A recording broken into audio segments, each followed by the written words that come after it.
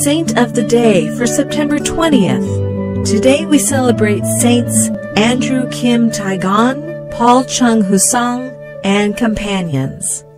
Christianity came slowly to Korea, beginning in the late 1500s. 200 years later, a small homegrown church had taken root.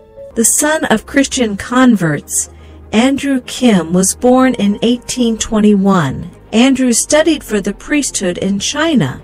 When he returned home, he helped missionaries enter the country by a water route that would elude the border patrol. The first native-born Korean priest, he was arrested, tortured, and finally beheaded near Seoul in 1846. His father, Ignatius Kim, had been martyred in 1839.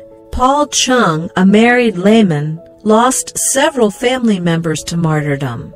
He risked his life making repeated journeys to China in an effort to find priests who would come to Korea and serve the young church. He was martyred in 1839.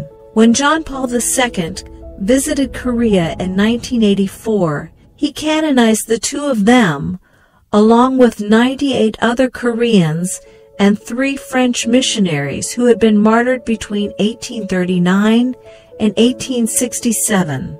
The Pope called them the leaven that led to the splendid flowering of the church in Korea.